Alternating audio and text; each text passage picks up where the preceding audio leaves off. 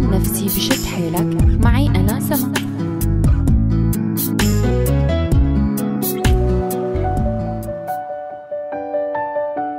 عمالة الأطفال هي من أهم وأكبر التحديات يلي عم تواجه المجتمع السوري اليوم وعم تهدد مستقبل الجيل اللي جاي. كيف وليش؟ خلونا نحكي شوي عن التأثير النفسي والاجتماعي لعمالة الأطفال ومن خلال الحديث رح نعرف خطورة الموضوع.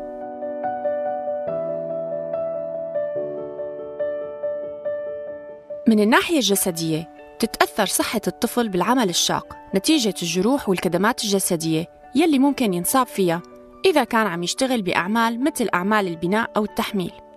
وإذا كان بيشتغل بأي شغل في ريحة ورطوبة مثل شغل الدهان والمصابخ والمصانع فأكيد هذا الشيء رح يكون له تأثير كتير سلبي على الجهاز التنفسي للطفل.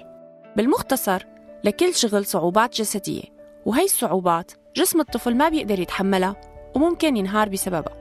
من الناحية المعرفية رح يتأثر الطفل العامل بشكل سلبي سواء كان عم يداوم بالمدرسة أو ما عم يداوم.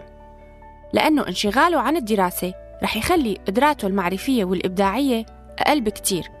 عدا عن أنه ما رح يقدر يحصل أي تعليم عالي بخلي مستقبله أحسن. ومع الوقت رح ينسى الطفل حتى المهارات الأساسية مثل الكتابة والقراءة والحساب. حتى من الناحية العاطفية الطفل العامل بيتأثر بشكل سلبي بسبب غيابه عن عيلته وعن الأشخاص يلي ممكن يدعموه عاطفياً. وغير هيك بيفقد احترامه لذاته وتقبله للآخرين وقت بيكون عم يتعرض لأي نوع من أنواع العنف من صاحب الشغل أو زملائه بالشغل.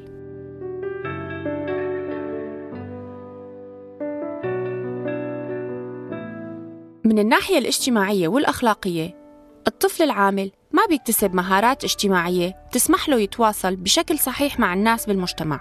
لأنه ما عم يمارس المهارات يلي الأطفال العاديين بيمارسوها من خلال بناء علاقات اجتماعية مع الأصدقاء أولاد الجيران وزملاء المدرسة.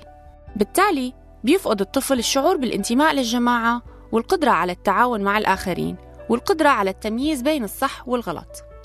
كل هاي التأثيرات رح تكون نتيجتها مشاكل نفسية كبيرة وخطيرة عند الطفل.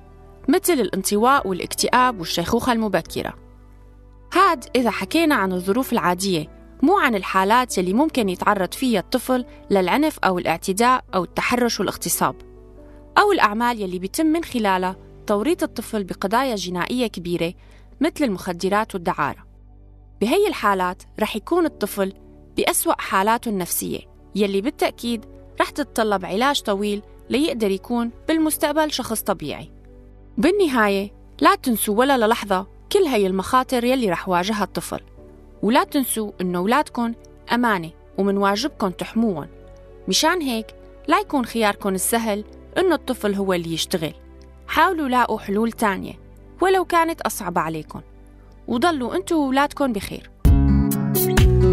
دعم نفسي بشد حيلك. معي أنا سما